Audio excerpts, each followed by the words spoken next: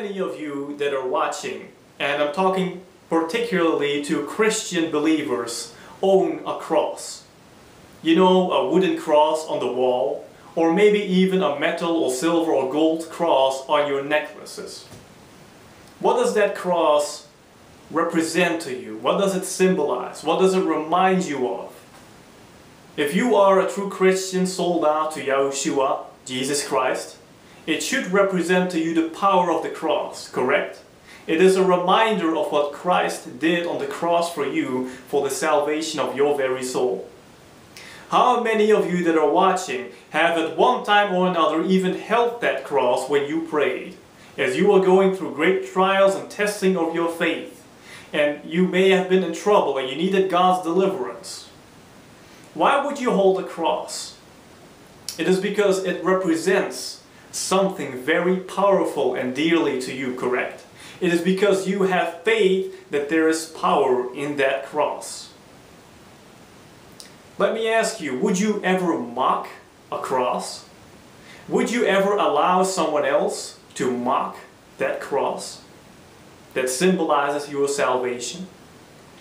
Do you know that there are pastors within this Christian community who very subtle, in a very subtle way, mock that very cross that they claim they preach, and they're teaching you to do the same thing and you do not even know it. But before I go further about that, I would like to ask you another question. How many of you that are watching, specifically Christian believers again, know that anointing oil is very biblical?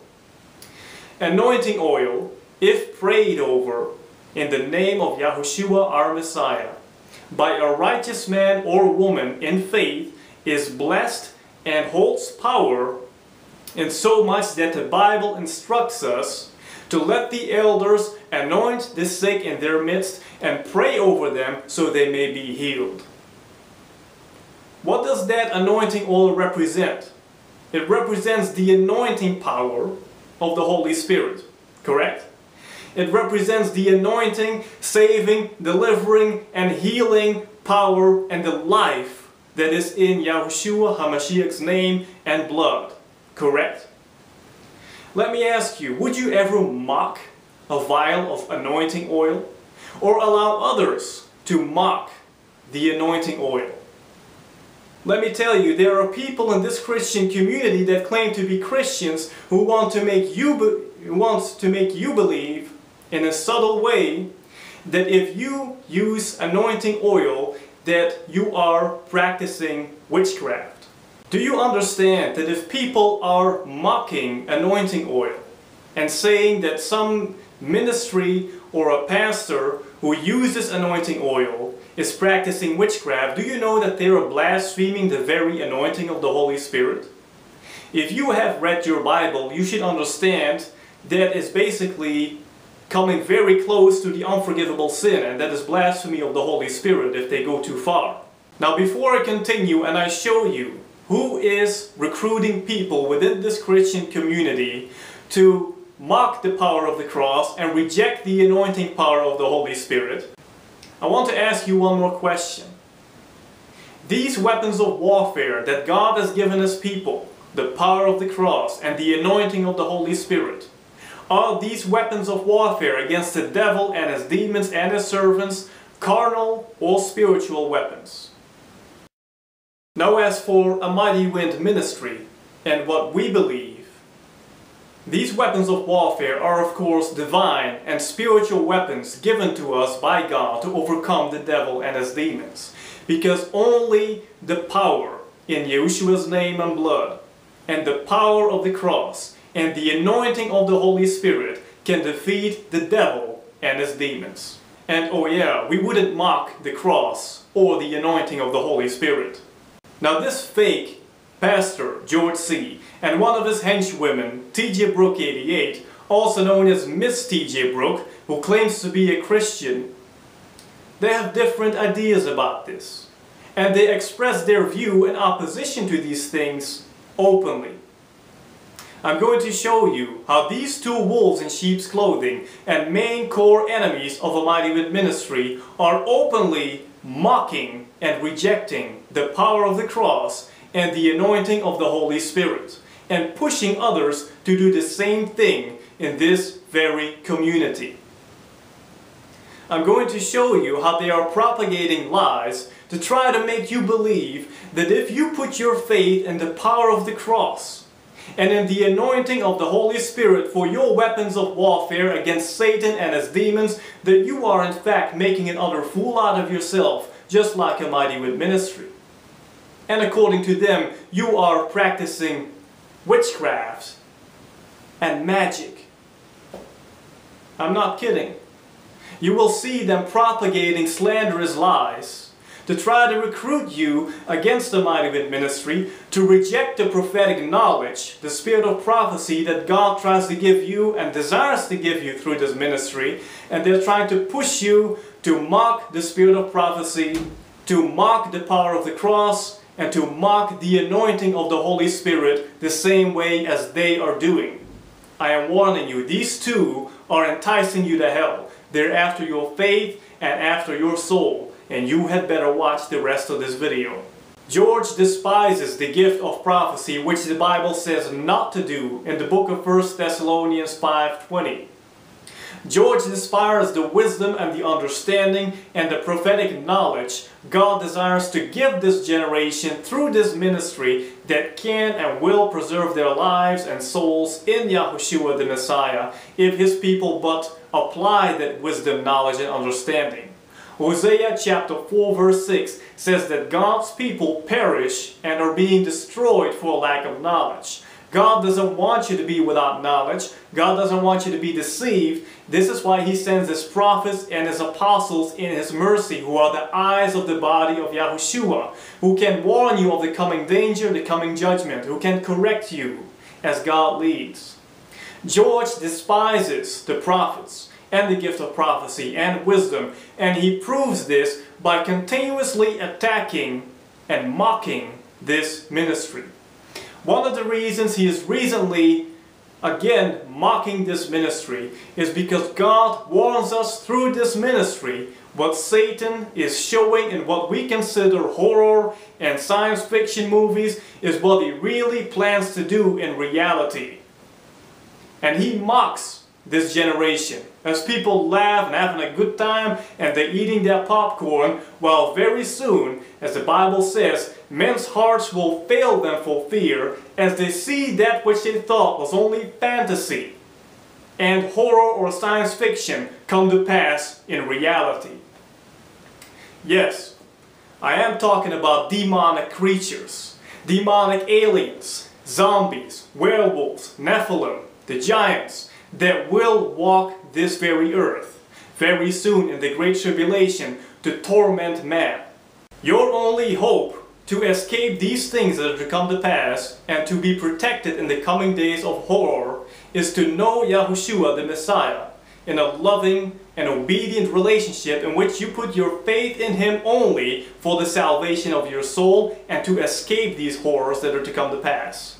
You have to know the Messiah in a repentant relationship in which you prove that you love Him by turning away from your sins and keeping His commandments. I'll remind you that the book of Revelation chapter 12 verse 17 says that God's people are those who keep His commandments, not those who break Him, but keep Him and have the testimony of Yahushua the Messiah. Those are the people that Satan is after. Those are the people that are a threat to Satan's kingdom. Those are the people that Satan wars against. Are you one of those people? Or are you those part of those who dismiss and break God's commandments say, well, the Sabbath can be any day of the week. I don't care. Yahushua, the Son of God, has promised us his commandment-keeping children, his faithful men and women and even children, that they have been given the authority in his name and in his blood to trample upon the enemy he has given us weapons of warfare, the power of the cross, His name, His Holy Spirit, the anointing of the Holy Spirit, I mean. And these weapons of warfare are spiritual weapons of warfare, not carnal, to defeat the devil. Because people, you cannot defeat or battle the Prince of Darkness with man-made weapons. Okay? God has warned us through Prophet Elisabeth Elijah that carnal weapons, if used against Satan, will only multiply evil, not defeat evil. Only the power of the cross, the power in Yeshua's name, God's resurrection power that was displayed in His Son, and the anointing of the Holy Spirit can break the yokes and bondages and can defeat the devil and his kingdom. Now, no matter how many times we explain this to the people, and no matter how many videos we put out, to prove to you that yes, aliens are biblical, and yes, Satan counterfeiting the rising of the saints through his zombies and his demons coming from the bottomless pit. And no matter how many times we explain to you that yes, man turning into beasts such as werewolves is biblical, this fake pastor, and I remind you these videos are a blessing to thousands of people, this fake pastor wants to make you believe that Satan is not going to do all these things. And that all these things can doctrinally not be backed up and that a Mighty Wind Ministry is backing away from any theological discussion. While he subtly dismisses and ignores the many videos we put out that are full of biblical teachings and sound doctrine to back all these things up. And he says, Ha, you gotta be kidding me! Space aliens? Zombies? And now werewolves and vampires? You got to be kidding me. And he mocks these prophetic realities for which God wants to warn this generation of what Satan tries to do. And he wants to make you believe, George wants to make you believe, that if you are believing these prophetic realities that are to come to pass, and if you are preparing yourself, that you are in fact in sin for doing so. And you are making a fool out of yourself and you had better repent. And oh yeah, he basically teaches you that even if these things would happen, putting your faith in the cross would be a foolish thing to do so. Now I'm going to show you how he does it. Now before I show you specifically how he does this, I need to explain to you the following. In A Mighty Wind Prophecy 21, which was entitled, Are you ready for a shock? Gabriel is blowing his horn, which was spoken through Prophet Elisabeth Elijah by Yahweh and Yahushua HaMashiach, God Almighty, in which God Himself instructs His people that when Satan will counterfeit the rising of the saints and the Great Tribulation, as his demons will come from the bottomless pit to take over the heathen corpses which will become the reality of zombies, for God's people to take a board or a piece of wood and to anoint that with anointing oil. A piece of wood or board or a wooden stick that is anointed with oil is of course to represent the power of the cross and the anointing of the Holy Spirit. Is this difficult to understand? I don't think so. Would you mock a wooden cross? Would you mock anointing oil that is to represent the anointing of the Holy Spirit that breaks all the yokes and bondages in the name of Yahushua HaMashiach faith? I don't think so. So why would you mock this? Or why would you allow others to mock this? Doesn't make any sense.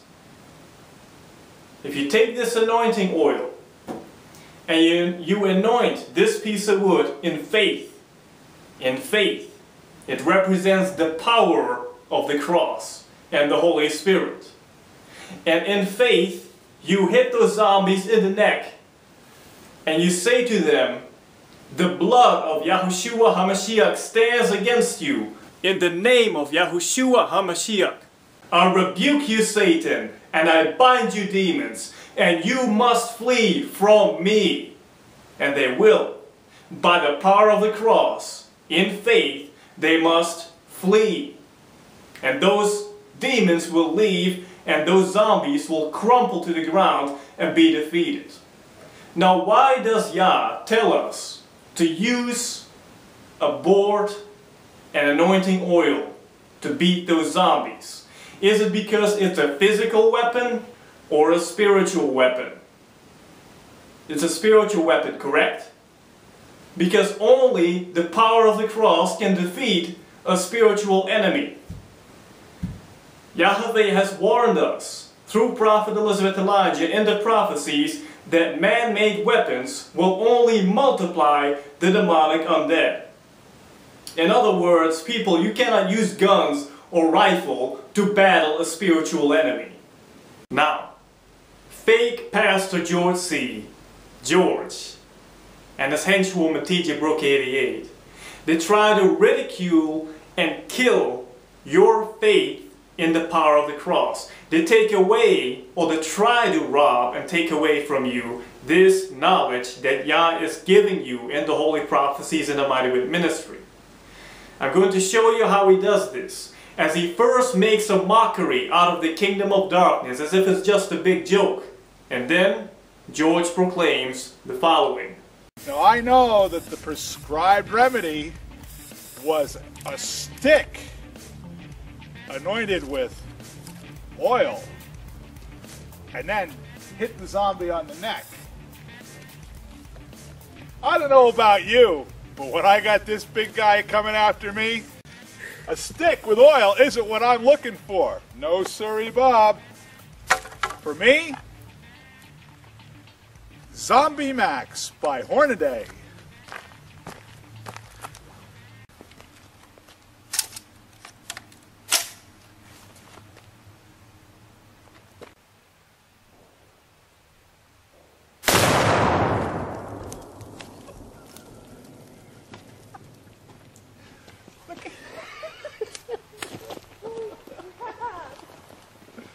Now, first of all, what kind of a pastor has a zombie mask?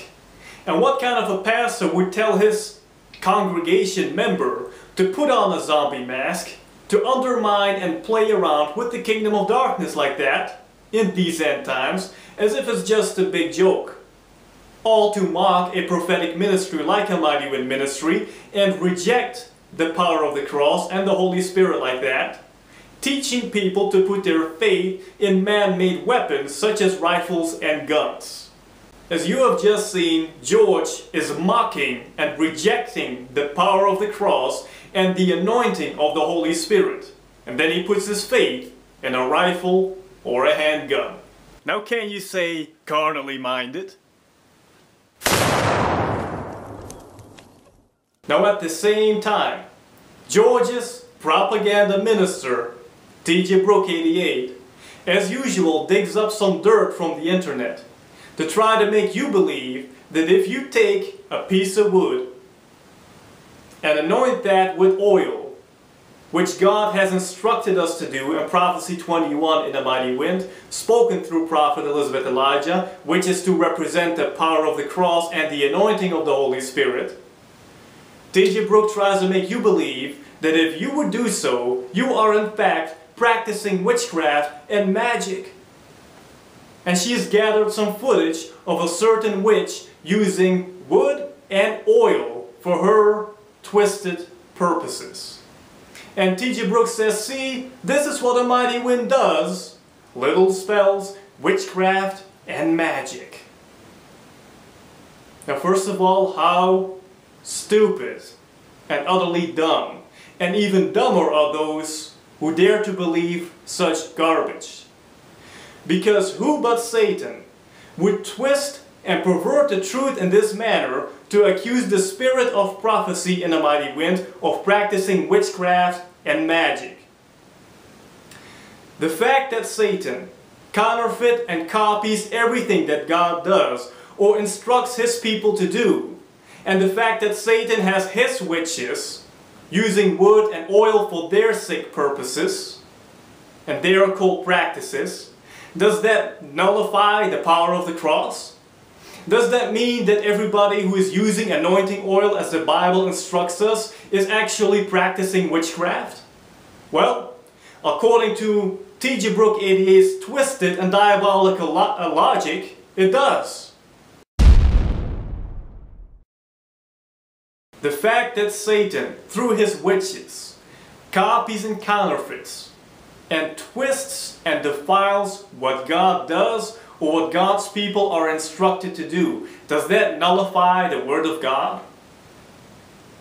all Satan does is copy and counterfeit God and what God does.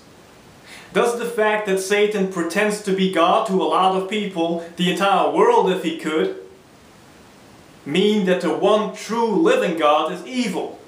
No, of course not. It means that Satan counterfeits.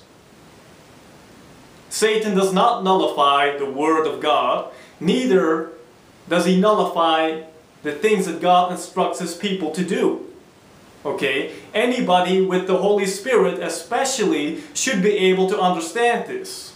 Now T.J. Brook 88 clearly does not understand this. She shows how full she is of the Jezebel spirit trying to kill the prophetic knowledge God tries to give you and rob and kill your very faith. Make no mistake about it, these two are enticing you to the very pits of hell by tempting you and pushing you to mock and reject the very spirit of prophecy. Now here you have them folks, two blasphemers who teach you to put your faith in rifles and guns to battle the Prince of Darkness. Doesn't get more carnally minded than this, does it?